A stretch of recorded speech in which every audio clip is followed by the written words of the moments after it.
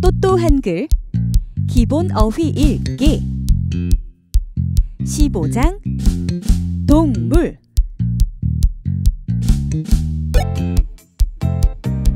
소. 닭,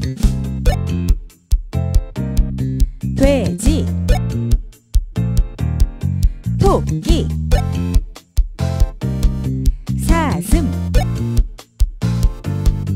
오리,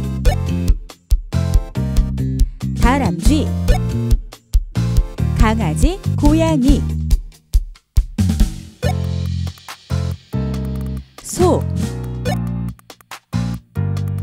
닭, 돼지, 토끼, 사슴, 오리,